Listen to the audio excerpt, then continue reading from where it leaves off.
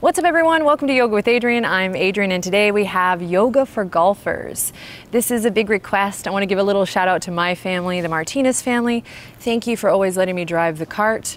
And for all you golfers, this one is for you. So hop into something comfy, take off your shoes, and let's get started.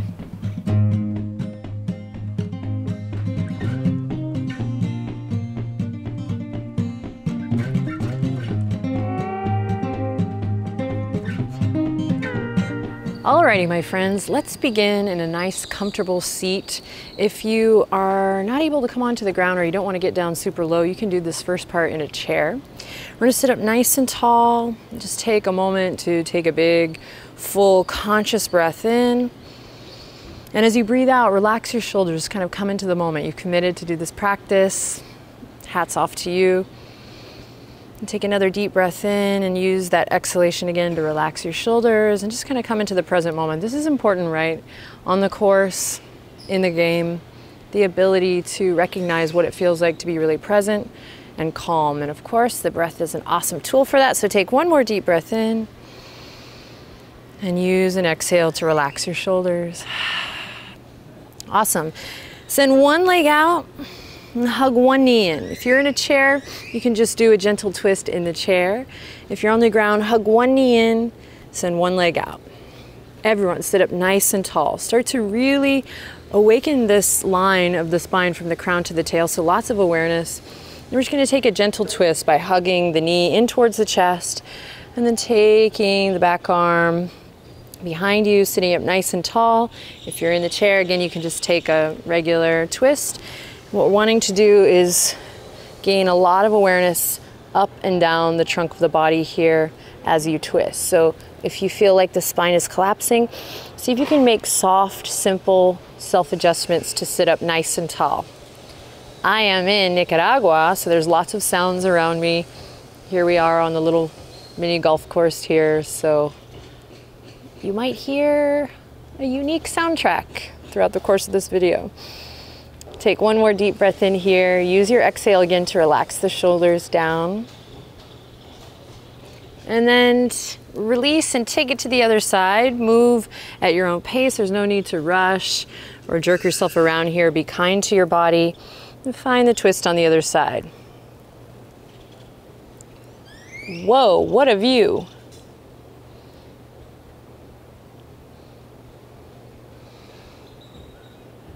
Notice how this side is different. One thing for golfers is we tend to really work one side of the body over the other. So we can use tools, uh, you know, practices like yoga to even that out, counterbalance, find balance in the body by strengthening and lengthening the right and the left side evenly.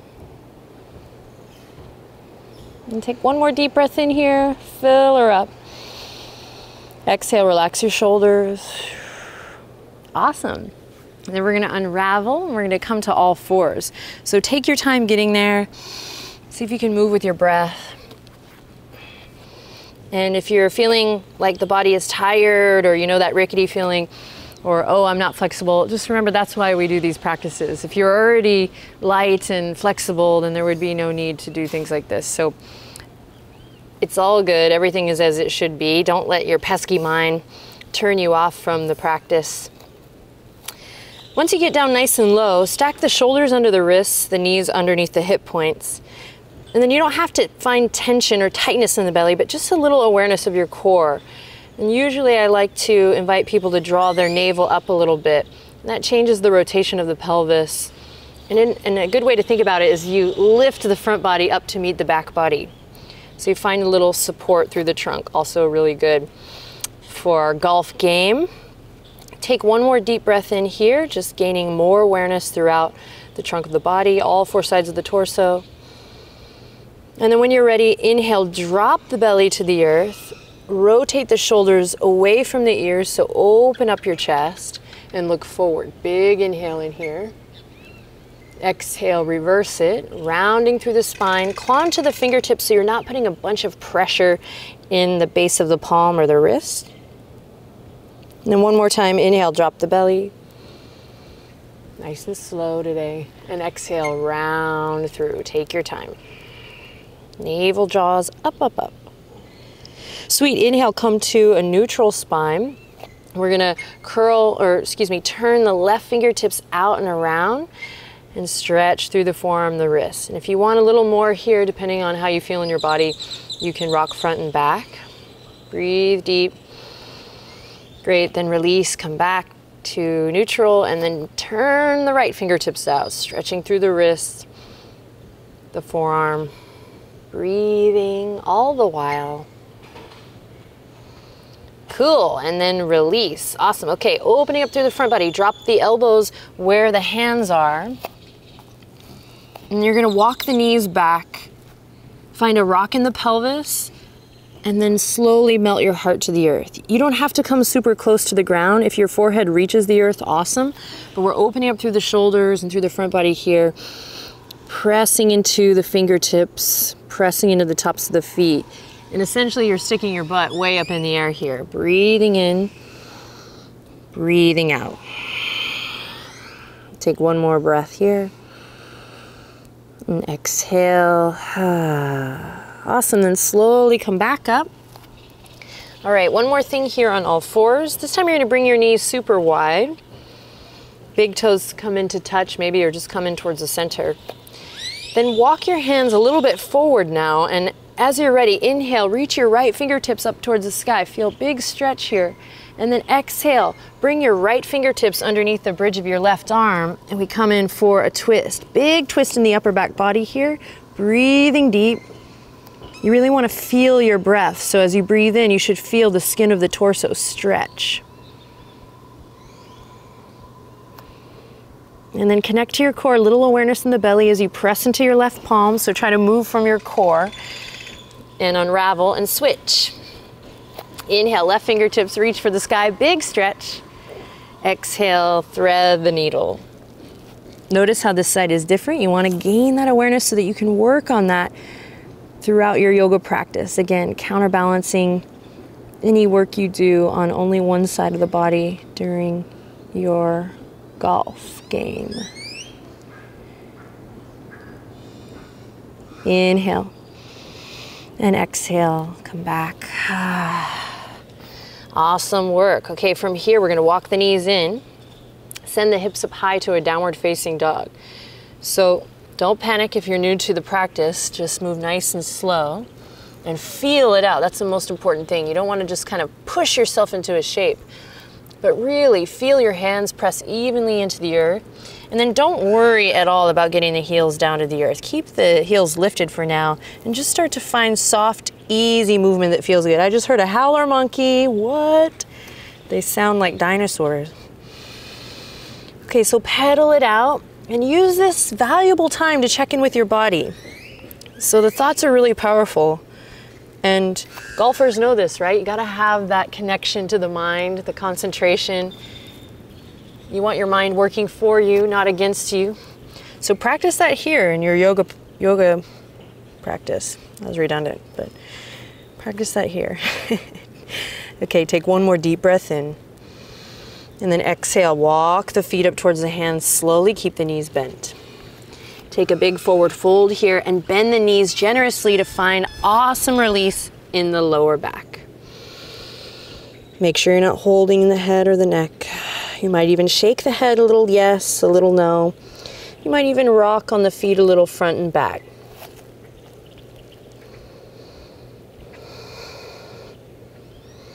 Connect to your breath.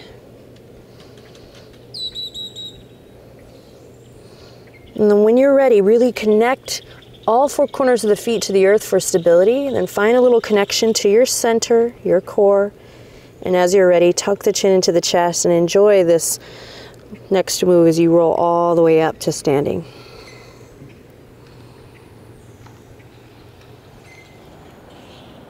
And as you stand up nice and tall in what we call mountain pose or Tadasana, check in with your breath again.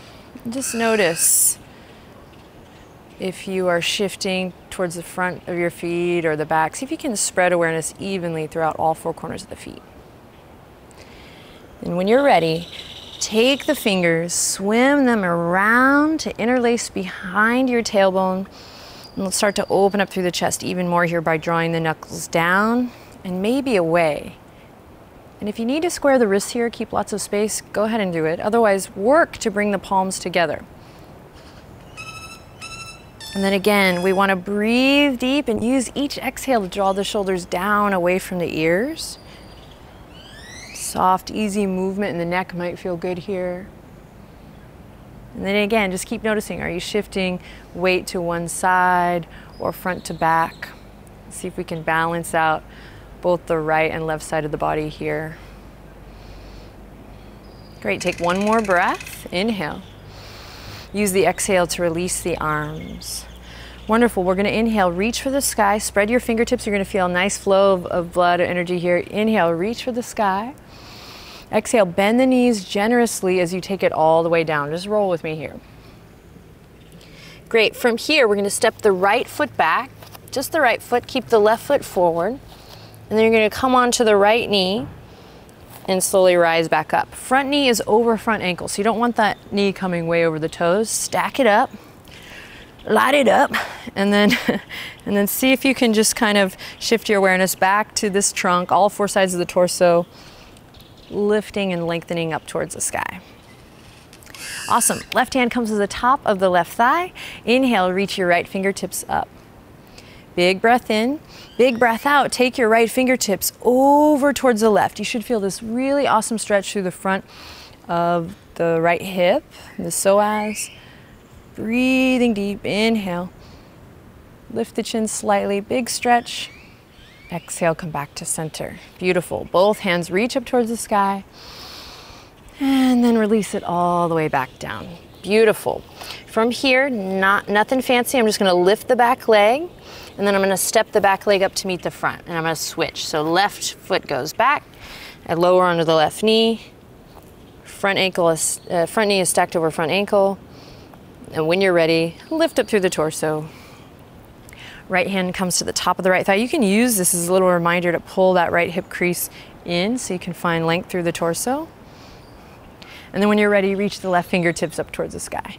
Big stretch, find length through the left side body. And then when you're ready, slowly start to reach towards the right side of your mat.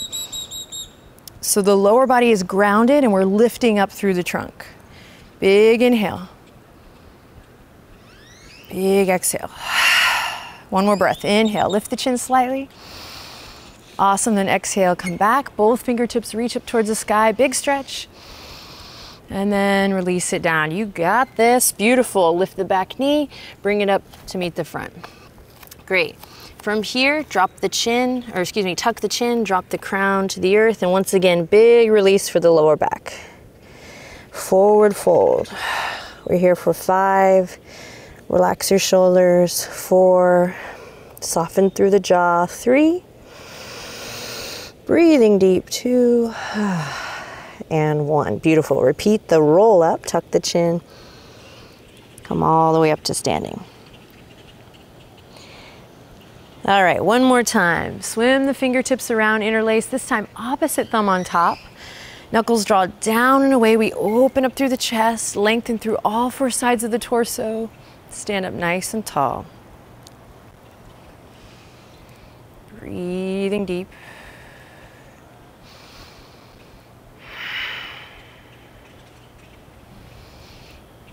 Awesome, then slowly release. Inhale, reach for the sky. Exhale all the way down.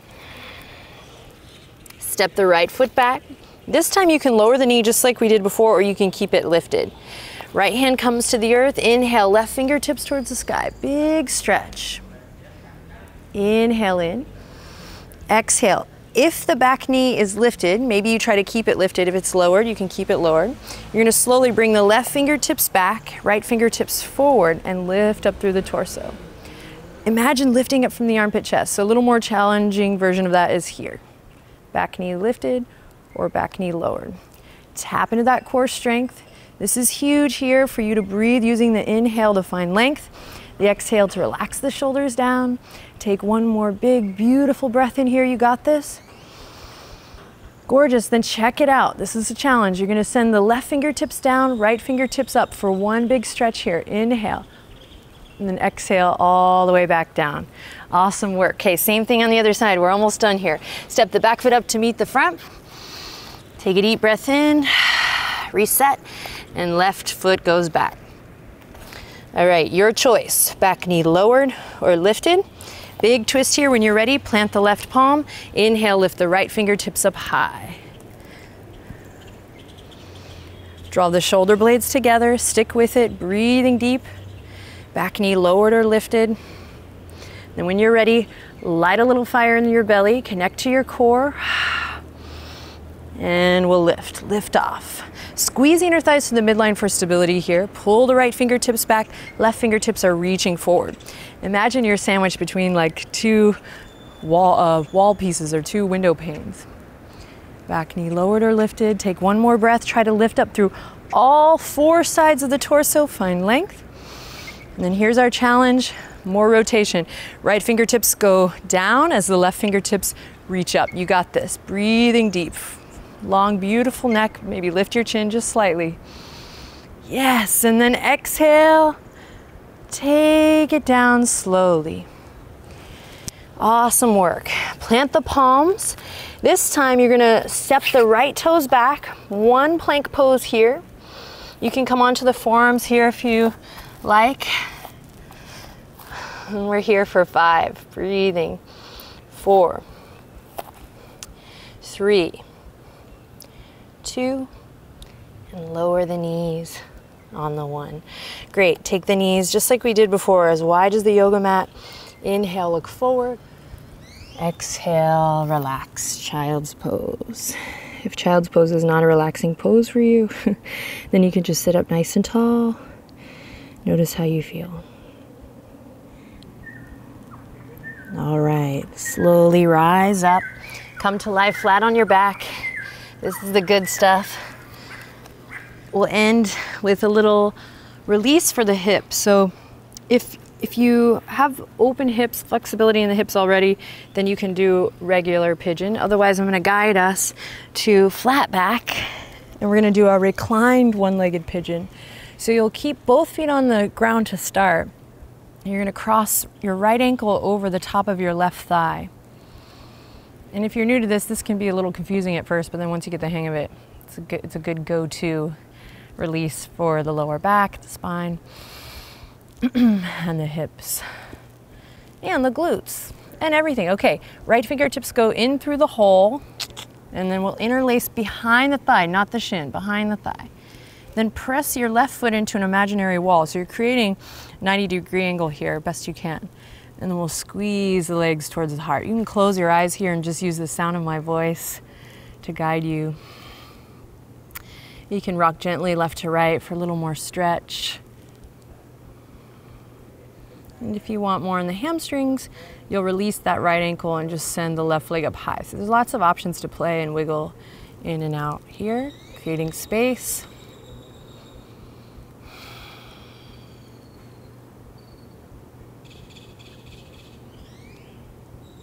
Awesome, then we'll slowly release. Both feet come to the ground, reset. Take a deep breath in, long breath out and cross the left ankle over the top of the right thigh and find it on the other side. I like to imagine my right foot kicking into an imaginary wall here, and then I'm slowly using my left elbow to kind of guide it, guide the left thigh a little bit out. Every body will be different, of course, so use your breath to explore and find what feels good.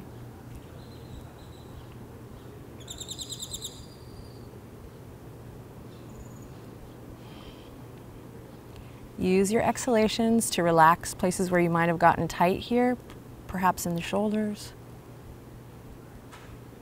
Extend that leg if you did on the other side, maybe taking the right foot up towards the sky. Cool, beautiful work. Take one more big breath in. Then use an exhale to release. Take a second here to bring the arms out to your sides and just windshield wiper the legs.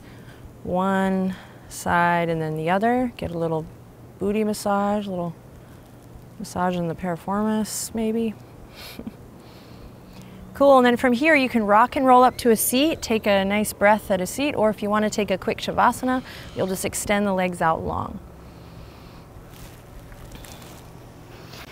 Hats off to you for taking the time to tend to your body. I wish you the best on the course. Share this with your friends, your family, other people who play. And we'll finish by bringing the palms together and bowing to one another. We say namaste.